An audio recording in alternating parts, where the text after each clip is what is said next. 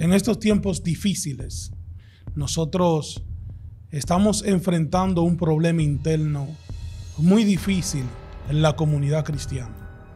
Algo que amenaza con dividirnos y confundir a muchas personas. En el día de hoy yo quiero hablar sobre un tema muy delicado. Un tema que yo creo y entiendo que es de suma importancia. Se trata de los ataques entre los mismos cristianos, especialmente hacia los ministros de Dios. Y de verdad que es preocupante el aumento de falsas revelaciones que nosotros tenemos hoy en día, revelaciones que según las personas afirman que vienen de parte de Dios.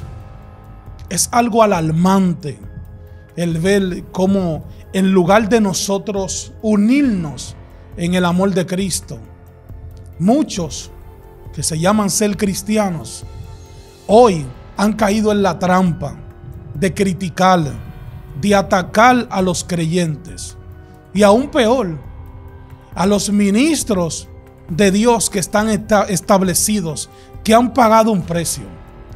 Y yo creo que este es un fenómeno que no solo crea divisiones, sino que también daña el testimonio, el testimonio de la iglesia frente al mundo.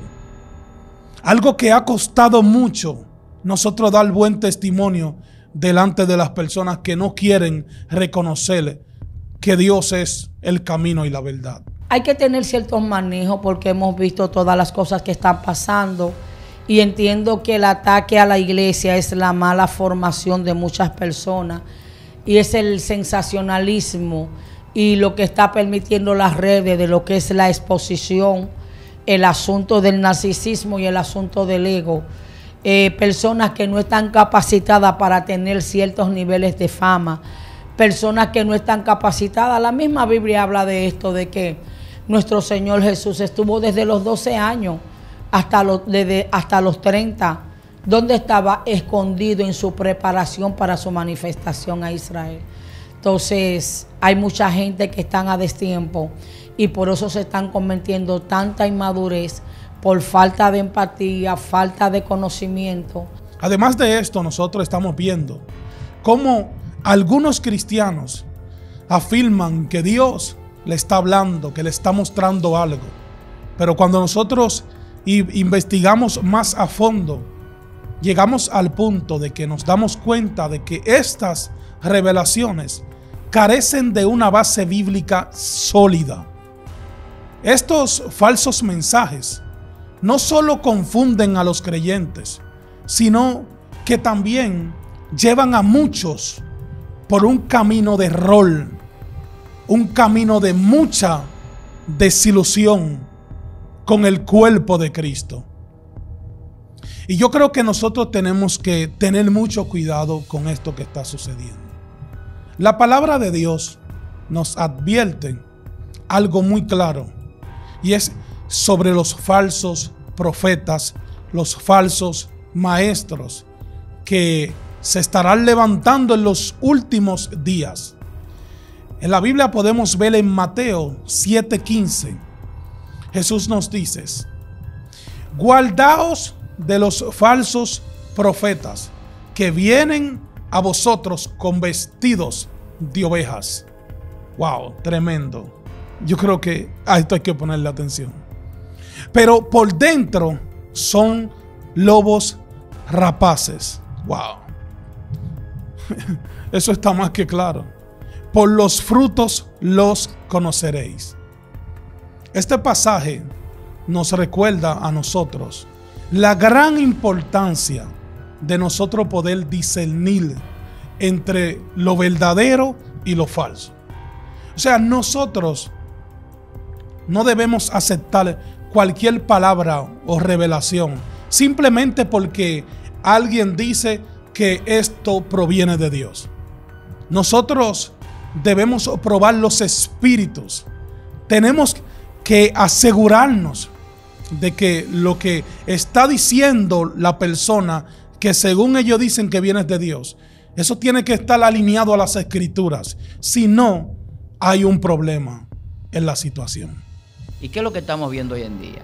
Lo que estamos viendo hoy en día es la gente viviendo peor de cómo se vive en el mundo. Porque incluso Satanás, su reino se mantiene unido, Jesús lo decía, Satanás no echa fuera a Satanás, que un reino dividido no permanece.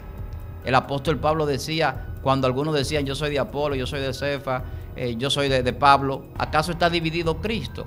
O sea, esas divisiones no son de Dios. Dios no enseña división. Los pleitos, las contiendas no son de Dios. Entonces, ¿a qué se debe? Que hoy en día vemos los hermanos en las redes sociales, en YouTube, en muchísimas plataformas, en unas contiendas abiertas, llamándose hijos del diablo, que tú te vas para el infierno, que lo que tú haces no es de Dios, que lo que yo hago sí. O sea, lamentablemente se ha entrado en un terreno que trae consecuencias a la vida de estas personas. Yo soy de los que creo que la unidad en el cuerpo de Cristo es esencial. En Efesios 4:3, Pablo nos exhorta, guardar la unidad del Espíritu en el vínculo de la paz.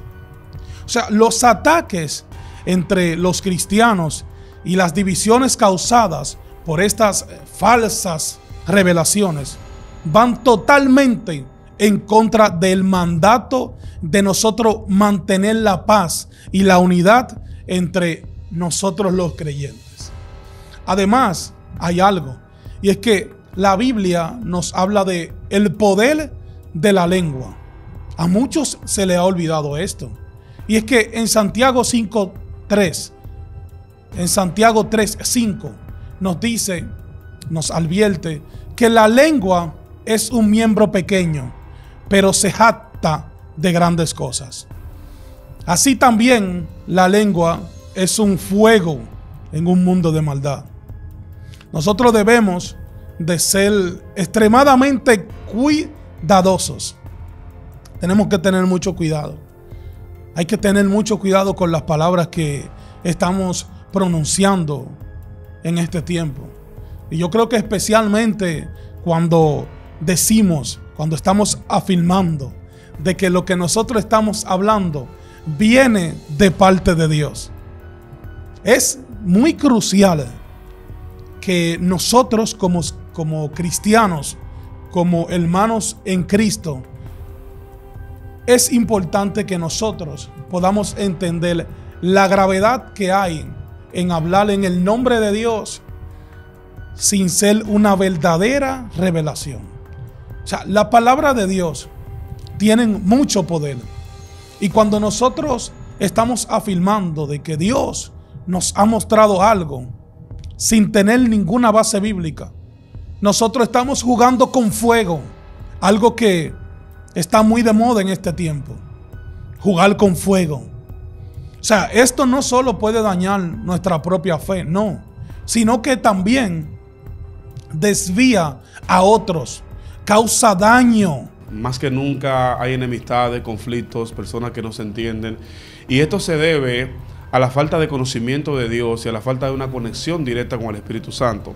De alguna manera las personas se están desligando del propósito de Dios y se están conectando con sus propias emociones y sentimientos. La gente tiene que entrar en un conocimiento de que estamos diseñados para cumplir una palabra de Dios y un diseño divino. Y de alguna manera Dios nos está indicando, nos está invitando a que reflexionemos sobre lo que estamos haciendo. No es bueno que nosotros como creyentes nos estemos atacando unos a otros. Yo en el día de hoy quiero hacerle un llamado a todos esos creyentes que tienen que tomar un momento para reflexionar antes de estar hablando cosas que no vienen de parte de Dios. O sea, lo que nosotros estamos diciendo tiene que estar alineado a la palabra de Dios. La gente tiene que preguntarse, o sea, ¿qué estoy haciendo? ¿Está edificando lo que yo estoy haciendo? O tal vez lo estamos haciendo sembrando discordia y confusión entre los hermanos. Y yo creo que la responsabilidad de nosotros como cristianos es buscar siempre la verdad. Y la verdad solamente se encuentra en la Biblia, palabra verdadera. Nosotros no, podemos permitir que nuestras emociones o deseos personales nos lleven a hablar en nombre de Dios, sabiendo nosotros que no viene de parte de Dios. Yo creo que tenemos que tener mucho cuidado. Hoy más que nunca hay que prestar atención a lo que está sucediendo. En resumen, mi hermano, yo creo que nosotros debemos ser vigilantes, ser muy cuidadosos en lo que nosotros estamos haciendo uno a otros en la comunidad cristiana. Los ataques, las divisiones, no son agrado de Dios. Usted tiene que saber eso. Es nuestra responsabilidad nosotros como seguidores de Cristo, poder mantener la unidad. Tenemos que hablar la verdad y hablar cosas que edifiquen a nuestros hermanos y nuestras hermanas en la fe. Yo quiero desafiar a muchos hoy de que puedan ser un ejemplo, un ejemplo de amor, yo creo que eso es muy necesario, que se levanten las personas que le duele ver lo que está sucediendo. Tenemos que estar unidos. Somos una comunidad de fe. No podemos permitir que las falsas revelaciones y los ataques destruyan lo que Dios está construyendo en su iglesia.